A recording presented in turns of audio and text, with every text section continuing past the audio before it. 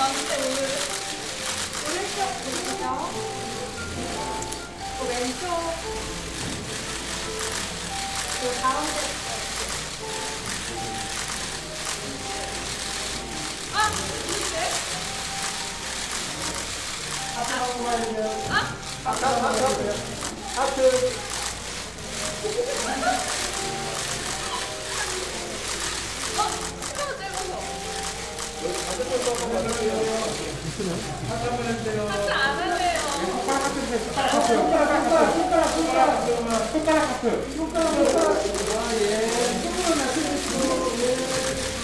이쪽에. 근데 이런 거 하면 안 돼요.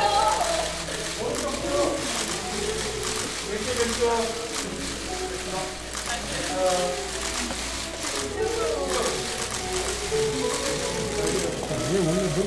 저도 이렇게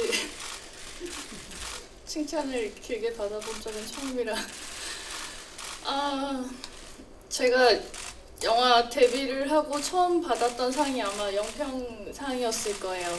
네, 그때가 또 생각이 나고 아, 음,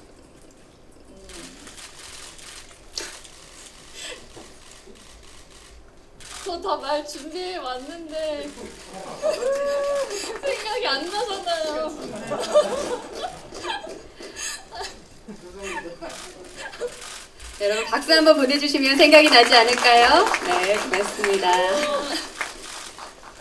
어, 82년생 김지영을 만나서 전 너무 행복했고요. 어, 현장에서 어, 육아랑 일이, 일을 병행하면서 연출해주신 김도현 감독님 그리고 어, 항상 현장 따뜻하게 만들어줬던 스태프들 그리고 함께했던 배우들 그리고 무엇보다 어, 또 다른 김지영 역할의 미숙 역을 맡아주신 김희경 선생님과 함께 계속 이 영광 나누고 싶습니다. 오늘 이 영상 너무 감사합니다.